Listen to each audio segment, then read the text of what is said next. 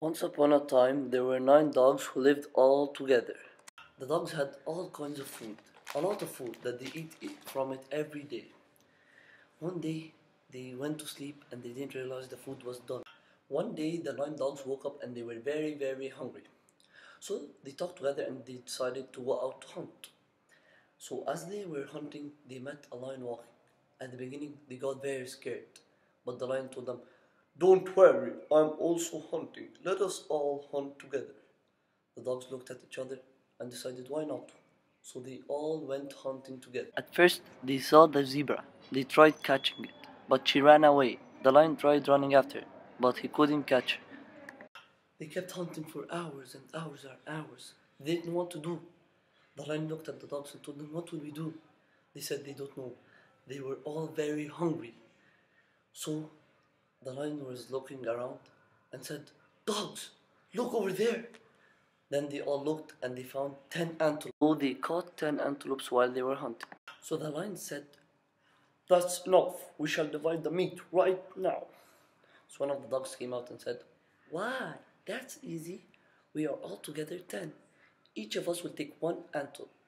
This answer made the lion become very angry. The lion hit the poor dog and blinded him. The other dogs did nothing. They didn't even say a word. The rest of the dogs were very scared to get hit also by the lion. So they didn't say anything. They were crying for his brother. They didn't know what to do. So one of the dogs came out and said, Our brother was wrong. We must give nine antelopes to the lion. Then they will be ten together. And we dogs shall take one antelope, and we shall also be ten together. The lion looked at the dog and was very, very happy from him, and asked him, Who taught you to divide like this? Who taught you? You are a very wise dog. The dog replied, King Lion, you hit our brother and you blinded him. Our poor brother, he's the one who taught me to divide like this. The next day, the nine dogs woke up. They kept talking together and trying to find food every place, but they couldn't. They had no other choice except for going hunting again. So they started hunting. They went outside and they found the lion. At first, they tried to run away, but the lion told them, No, we have to all hunt together again. I'll help you to get animals easier. So they all went hunting together again. For all day, they didn't find anything. Even at night, they couldn't find any animal.